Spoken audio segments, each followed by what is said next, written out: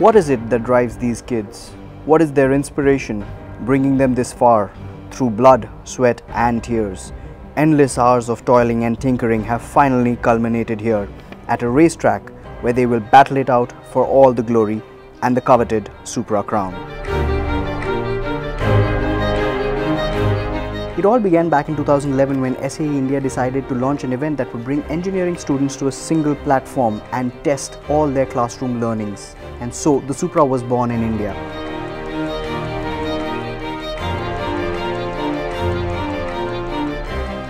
Credit must be given where it is due, and it is due to Maruti Suzuki that took it upon themselves to support this new initiative. From where it all began to where they have reached has been a long and arduous journey. But what did it take to come this far?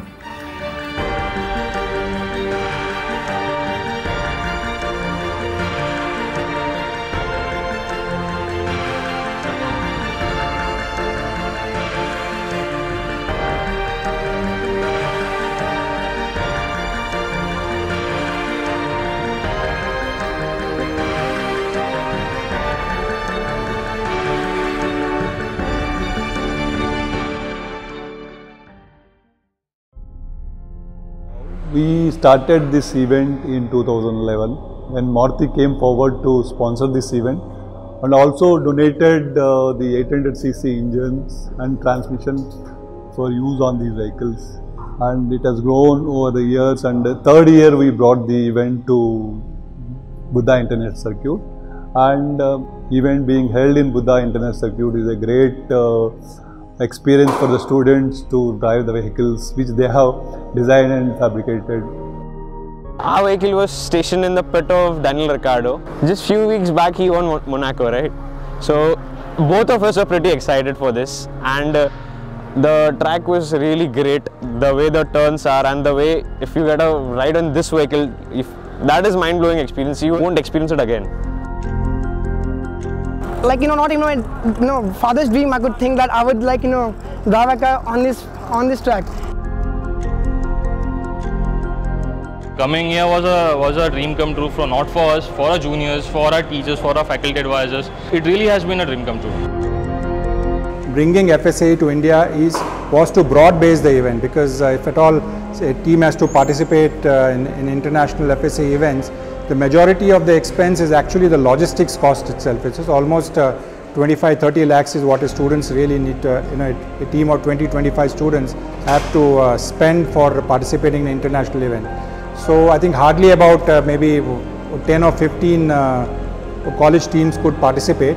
So SAE India has brought this event uh, Supra to India to basically broad base it so that we can accommodate more number of uh, students, more number of colleges and of course the you know the the teams which do well here in Supra also participate because like I, I know that from the last 2017 uh, event uh, the teams which uh, participated here almost uh, 16 to 17 of the teams are now participating uh, at international levels also.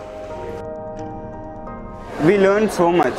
Here we come, we see other cars other designs. We could just sort out what would be best for our car and we could see and learn so much things from other the other innovations.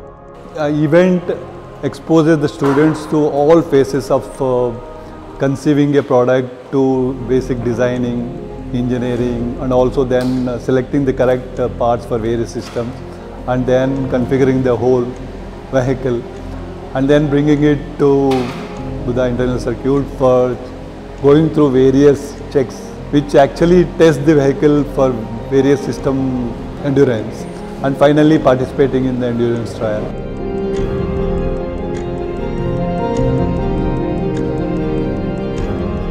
Uh, this thing is that you learn overall about engineering from A to Z. The four years of engineering does not teach you everything.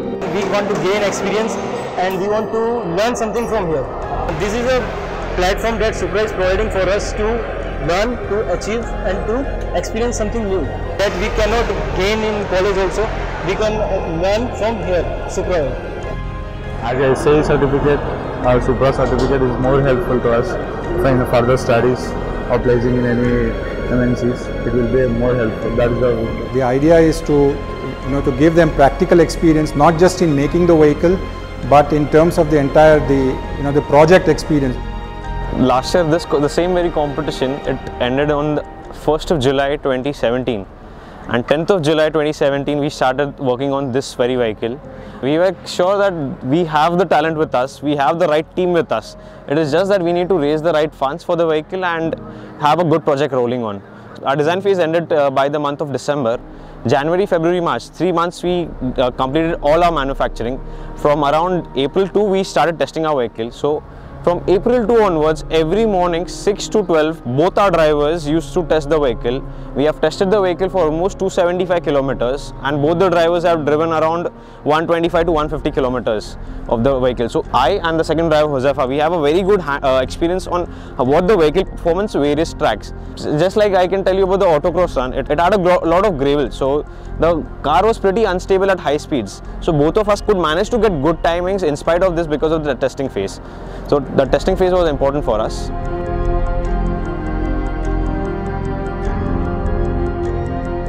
So the most challenging part I think is the design process and the production of the car.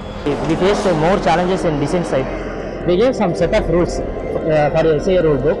Uh, from each and every rule we have to clear that uh, each uh, step by step manner. And that first of all we faced uh, track with likewise. And after completing the design field, we faced in a theoretical manner like knuckle, hub, and then uh, driver shoot, harness uh, point like this. We struggled in many areas. First time when we started the team, we had a failure in the first year. So that failure taught us many things and from the second year itself, that is 2016, we started building a vehicle which is light in weight, which was a main focus, should be reliable and we have focused since then on that parameters and the team has been consecutively reducing the weight of the vehicle year by year, year by year. So in 2016 it was uh, 180. In 2017 the vehicle weight was 170 again with a full aerodynamics on the car and right now weight of the vehicle it's 168 kgs. So we are making a lightweight vehicle along with the performance parameters also included in it. Uh, whatever is to be designed that is seen from the manufacturing point of view and it always doesn't mean that there should be innovation in the car. We should see that first the basic vehicle, whatever is the basic vehicle, it should be up to date and then whatever the accessories are there in the vehicle, that should be included. Technically you might be very strong but uh, coming together as a team and everybody chipping in like for making a car like this, you know, somebody is good in chassis design, somebody is good in powertrain, somebody is good in, in electronics.